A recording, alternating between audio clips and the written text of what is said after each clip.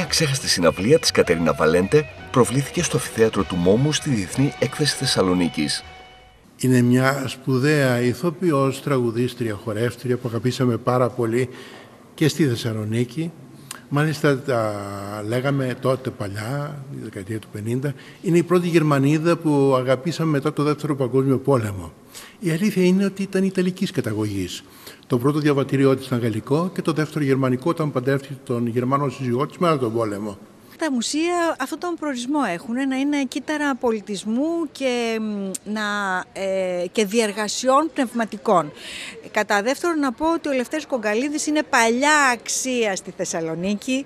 Ε, να, χαίρομαι πάρα πολύ που ξαναβγήκε δυναμικά στο προσκήνιο. Χαίρομαι πολύ που αυτό φιλοξενείται στην αίθουσα Ξανθήπη Χόιπελ ε, και της αξίζει και της Ξανθήπης Χόιπελ η ονομασία αυτής ε, της αίθουσας του μουσείου γιατί και αυτή επί πάρα πολλά χρόνια, νομίζω σχεδόν 40 ή ίσως και πάνω από 40 έχει δώσει την ψυχή της για το Μακεδονικό Μουσείο Σύγχρονης Τέχνης.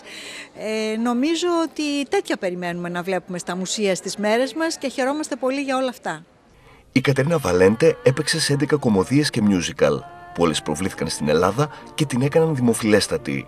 Τόσο πολύ που να συναγωνίζεται σχεδόν όλες τις Αμερικανίδες πρωταγωνίστριες της εποχής της. Κατοικεί πλέον στο Λουγκάνο της Ελβετίας, σε μια υπέροχη περιοχή που την έχω επισκεφθεί, γεμάτη δέντρα, σαν είναι ένα μεγάλο πάρκο δάσος, ήσυχα και ήρεμα μαζί πλέον.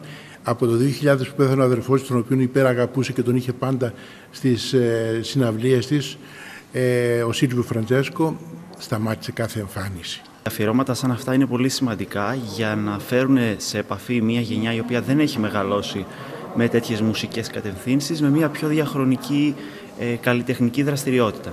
Είναι σημαντικό να γίνονται τέτοιες εκδηλώσεις, γιατί μέσα από αυτές τις εκδηλώσεις γνωρίζουμε παλαιότερους καλλιτέχνες, όπως η Κατερίνα Βαλέντα.